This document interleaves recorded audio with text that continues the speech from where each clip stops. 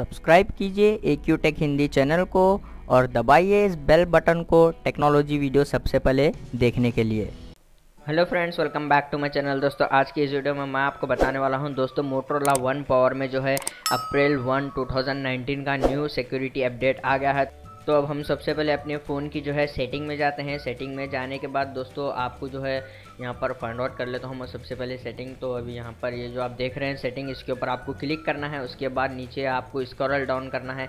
फिर आपको यहाँ पर जो है सिस्टम के ऊपर क्लिक करना है। उसके बाद दोस्तों आपको जो है यहाँ पर एडवांस के ऊपर क्लिक करना है। क्लिक करने के बाद दोस्तों आप यहाँ पर देख सकते हैं सिस्टम अपडेट। इसके ऊपर आपको क्लिक करना है। तो आप यहाँ पर देख सकते हैं android security updates up to one April 2019 तो इस को जो है आपको क्लिक कर देना है ओके के ऊपर क्लिक कर देना है, ये अपडेट जो है बैकग्राउंड में स्टार्ट हो जाएगा। तो आप यहाँ पर देख सकते हैं background system installing in progress. तो दोस्तों, ये अपडेट होने में बहुत ज़्यादा टाइम लगता है तो इसका प्रोसेस जो है मैं फास्ट फॉरवर्ड कर लूँगा। तो दोस्तों, आप यहाँ पर देख सकते हैं, ये फिफ्थ स्टेप जो है यहाँ पर कंप्लीट हो गए हैं। फिफ्थ स्टेप जो है 66 परसेंट जो है कंप्लीट हो गया है। तो अभी आगे का प्रोसेस है, हम इसका थोड़ा सा यहाँ पर वेट कर लेते हैं।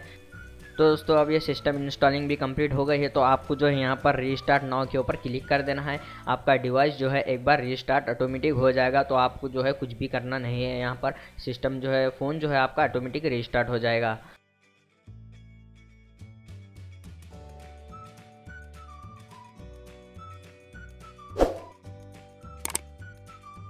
तो आप यहाँ पर देख सकते हैं फ़ोन इज़ स्टार्टिंग तो अभी फ़ोन जो है ऑन होने वाला है, यहाँ पर ऑन हो गया है.